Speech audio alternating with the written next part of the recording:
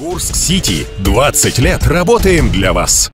8.10 на автодороге Дьяконова-Старкова произошло дорожно-транспортное происшествие с участием трех автомобилей. ВАЗ-2109, Лада Калина и Шкода. В результате дорожно-транспортного происшествия пострадали три человека.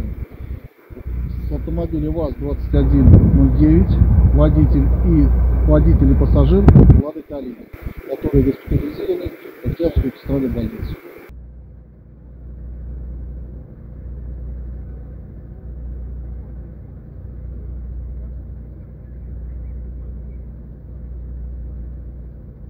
Курск-Сити. 20 лет работаем для вас.